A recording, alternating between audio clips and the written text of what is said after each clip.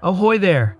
Today, we embark on an exciting voyage into the realm of cruise ship security, where we unravel the intricate tapestry of measures employed to protect these floating palaces from the perilous clutches of Somali pirates.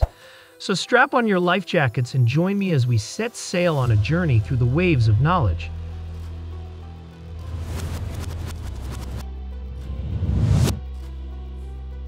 Picture this a magnificent cruise ship gliding through the azure waters of the Indian Ocean, bound for adventure and relaxation. As it charts its course, a potential threat lurks beneath the surface an encounter with pirates. How do cruise ships protect themselves from these swashbuckling raiders of the high seas? To fortify their defenses, cruise ships employ a multi layered approach that combines advanced technology, vigilant crew members, and strategic operational protocols. One of the key security measures is the implementation of a comprehensive security system, including state-of-the-art surveillance cameras and sensors that monitor the ship's surroundings. These systems act as the ship's watchful eyes, enabling early detection of any suspicious activity, including the approach of pirate vessels. But what happens when the pirates venture too close for comfort?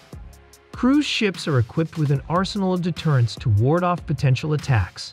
High-pressure water hoses, dazzling searchlights, and sonic weapons called long-range acoustic devices, LRADs, are just a few of the tools at their disposal. The powerful water jets can create an impenetrable barrier, making it difficult for pirates to board the ship. The blinding searchlights disorient the attackers, while LRADs emit piercing, high-frequency sounds that can cause disorientation, nausea, and even physical pain. However, prevention is not the only strategy cruise ships adopt. They are also prepared to respond swiftly and decisively in the event of pirate attack.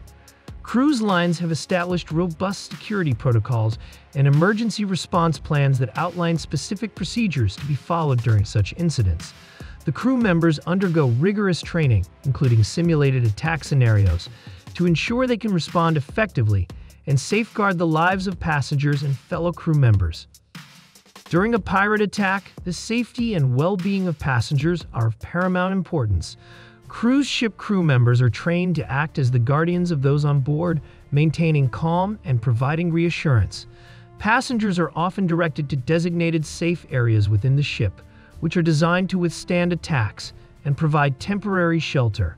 Crew members are stationed throughout the ship to ensure constant monitoring and communication, facilitating a swift and coordinated response to the situation.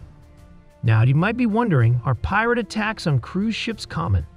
Thankfully, the answer is no. While piracy remains a significant concern in certain parts of the world, such as the waters off the coast of Somalia, pirate attacks on cruise ships are relatively rare. The cruise industry maintains a strong focus on proactive measures to minimize the risk of such incidents, including meticulous route planning and coordination with international naval forces.